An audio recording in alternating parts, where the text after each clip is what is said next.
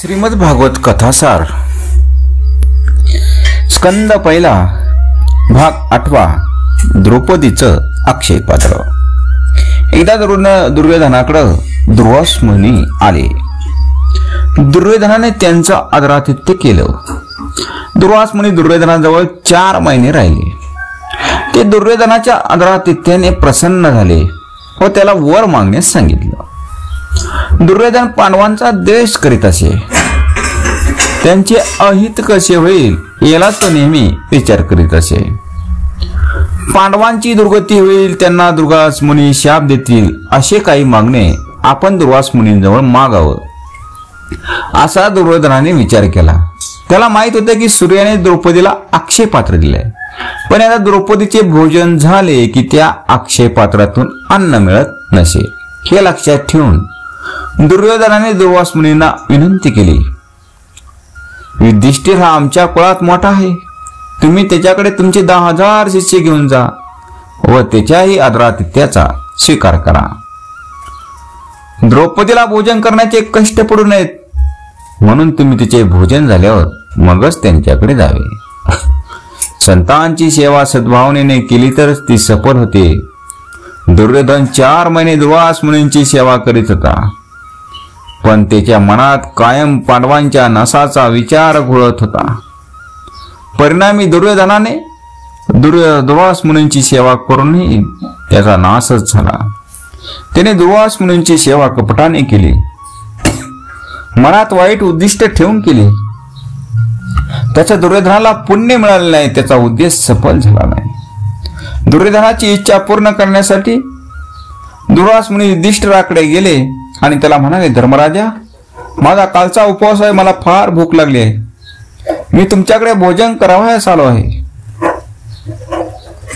द्रौपदीजवळ असलेल्या अक्षय पात्रातून आजवर अनेक ब्राह्मण मुनी आणि यांचे भोजन झाले. माध्यानात आलेल्या कोणालाही त्या अक्षय पात्रातून भोजन मिळत असे. पण आज द्रौपदीचे भोजन झाले होते. मध्यान्ह होऊन गेली होती आणि आता अक्षय पात्रातून भोजन मिळणे अशक्य होते. हे सारे माहीत असूनही युधिष्ठिर दुर्वास मुनींना म्हणाला आपण आमच्याकडे आलात. आमच्याकडे भोजनाची इच्छा प्रकट केली. ही आमच्यावरती खरोखरच कृपा झाली. आपण गंगा स्नान करून यावे. मी स्वयंपाकाची सिद्धता करतो. घरात तांदळाचा एक कणही शिल्लक नव्हता.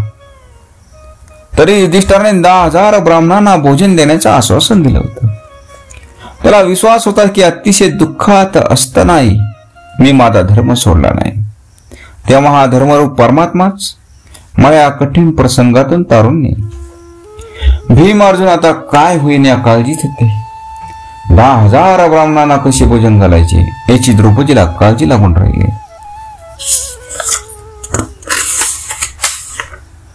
आता काय अक्षय पात्रातून भोजन मिळणार नाही? आणि भोजन मिळाले नाही तर दुर्वास मुनी पांडवांना शाप देतील या विचाराने ती घाबरली होती. कारण दुर्वास मुनींचा क्रोध तिला माहीत होता. द्रौपदीला श्रीकृष्णाची आठवण झाली. तिने श्रीकृष्णाचा धावा सुरू केला. हे श्रीकृष्णा तू जर आज माझ्या मदतीला आला नाहीस तर माझी नाचक्की होईल दुर्वास मुनींना आणि त्यांच्या शिष्यांना जर मी भोजन देऊ शकले नाही तर पांडवांवरती मोठाच अनर्थ ओढवेल. आजपर्यंत अनेक वेळा तू आमचं रक्षण केलं आहेस तसेच आज हे आमचे रक्षण करावेस. भक्तांचा अर्थ सोर ऐकून परमात्म्याचे मन द्रवते. तो लगेचच भक्तांच्या मदतीला धावून जातो. श्रीकृष्णाला द्रौपदीच्या आर्त हाक ऐकू आली. ती संकटात असल्याशिवाय आपल्याला बोलावणार नाही तेव्हा आपण तिच्या मदतीसाठी लगेचच केलं पाहिजे.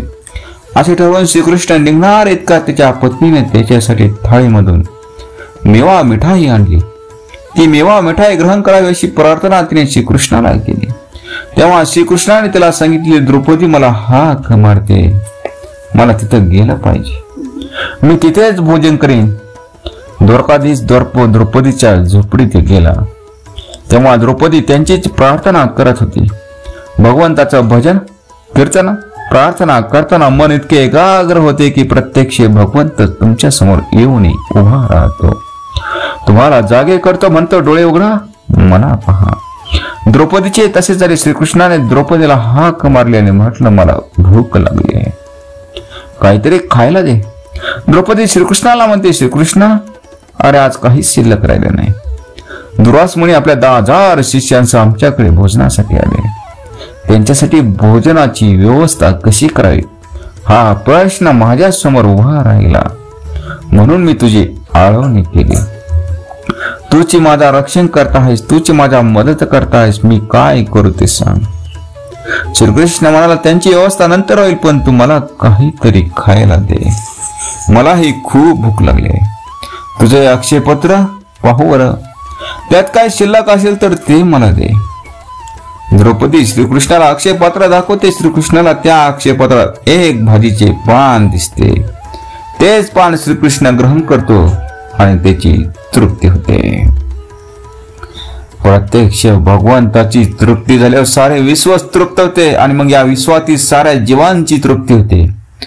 म्हणूनच रोज श्रीकृष्णाला जीव घालत भगवंत भोजनाने तृप्त झाले आणि इकडे गंगा किनारी दुर्वास त्यांच्या शिष्य परिवारास तृप्त झाले. भीम त्यांना बोलवण्यासाठी गण नदी किनारी केला असता.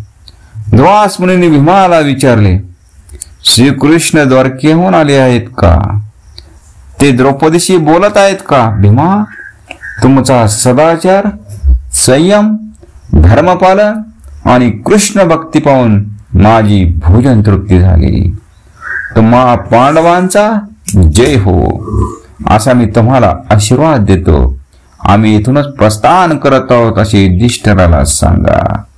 भीमाने सारा वृत्तांत युधिष्ठराला येऊन सांगितला आणि तो म्हणाला दुर्वास मुनींची सेवा दुर्योधनाने केली आणि त्यांचा आशीर्वाद मात्र आपल्याला मिळाला. अशा प्रकारे मात्र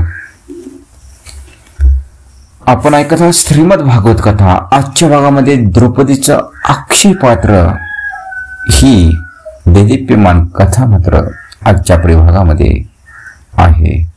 जय श्रीकृष्ण जय श्रीकृष्ण. कथा श्रीकृष्णाची कथा त्या द्रौपदीची द्रौपदीच्या भक्तीची आणि त्या श्रीकृष्णाची. जय श्रीकृष्ण जय श्री